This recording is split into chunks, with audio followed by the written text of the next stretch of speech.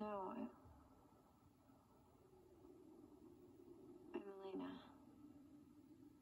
Oh, you. You just look. I'm sorry.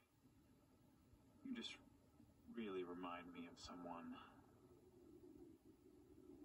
I'm Damon. Not to be rude or anything, Damon, but it's kind of creepy that you're out here in the middle of nowhere. You want to talk? You're out here all by yourself. It's Mystic Falls. Nothing bad ever happens here.